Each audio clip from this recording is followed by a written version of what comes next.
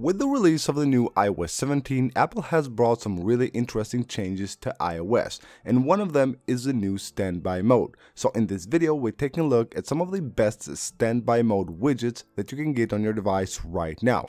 Now, even though the standby widgets on iOS 17 look exactly the same like the ones on the home screen, they actually don't work the same way and not all the widgets that you have on your home screen will work on your standby mode as well. They will have to be optimized to work with the new standby mode. So here I have a few that you can install right now on your device. We're starting things off with an app called iScreen. This app offers some pretty cool widgets for the standby mode on your device. Now when you add widgets from this app, you have to have two of them. So you will have one on the left and one on the right side. And as you can see, they combine together and give your standby mode a really cool look. So once you have added the widgets from this app on the left and on the right side, all you have to do is just tap right there to go to edit the widget and then tap on the widget and make sure you tap here where it says current widget and then just of course pick the widgets from the list make sure you always put the left on the left side the right on the right side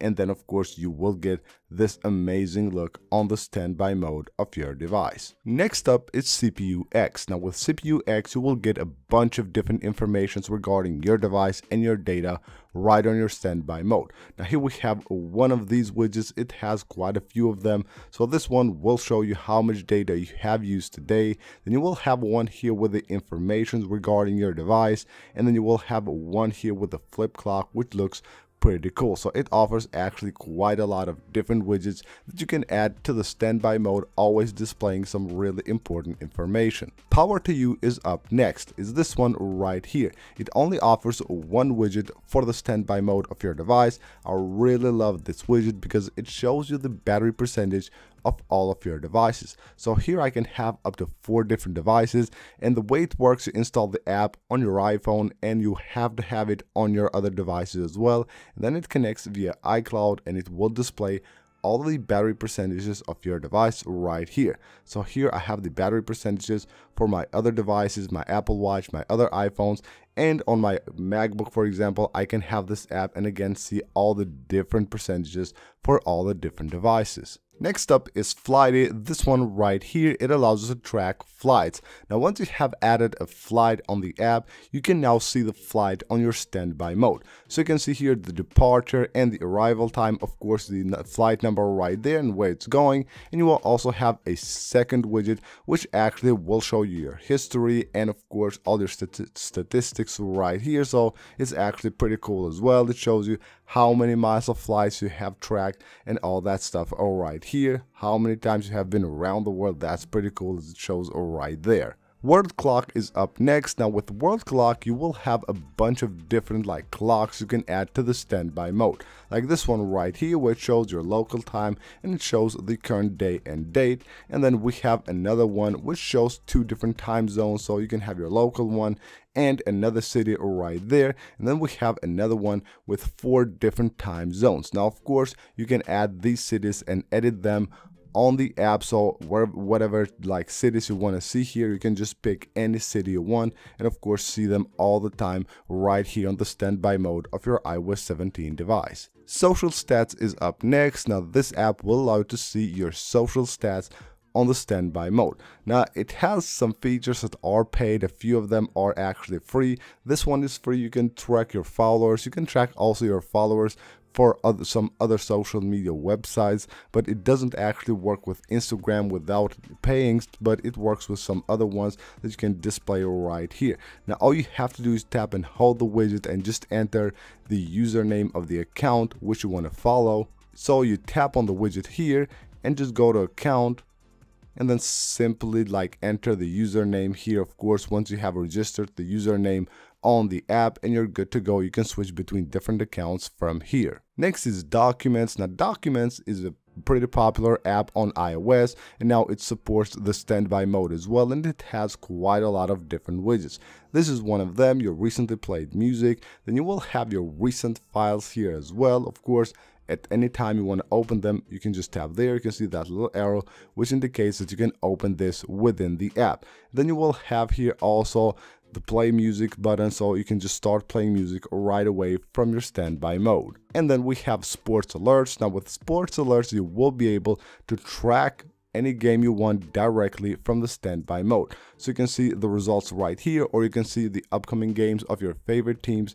Now you can of course always edit the team that you see here. So you tap on the widget here and you can choose the source there, maybe your favorite teams or any of the leagues that you want from any of the sports. And then of course go to team right here and you can pick any team that you want to follow. And then you will see it right here. So the upcoming games or any recent games if they have played they will be shown right here Next up is Outlook. If you use Outlook on your device, of course, to track your emails and all that stuff, it has three different widgets that you can use with the standby mode. So you can see your day right here and everything, all the tasks, everything that you have to do today. Then we have another one which lets you just tap here to quickly start a new message with Outlook and then you will have a third one which shows you your events, what you have to do in the next 24 hours so you can see oh, right there will be all the events and of course you can even tap the arrows right there to move between different days. ToStories is up next. Now with ToStories you will be able to track your Instagram followers for free right on the standby mode of your device. As you can see right here, you have your photo right there, the name of your account, the followers at the top, and it even shows you how many followers you have gained on the past few days, which is really cool. Now, of course, adding this like account here is pretty simple. Again, you just force touch on the on the widget here and all you have to do is just tap on the widget and just enter the username here without the at symbol and you're good to go. Another pretty popular app that offers standby widgets for iOS 17 is Google Chrome. You can start a search directly from here or the Chrome Dino game directly from here as well. So the Chrome app has been updated to support iOS 17 and as you can see these are the two new widgets that also support the new standby mode.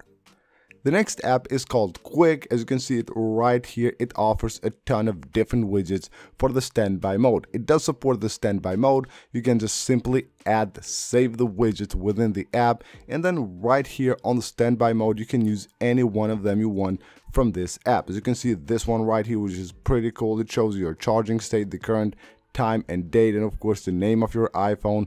Then we have another one for the current date which looks pretty cool and we have another one for your connectivity status so it shows whether you have any of these turned on or off and you will have a bunch of different widgets to choose from the app.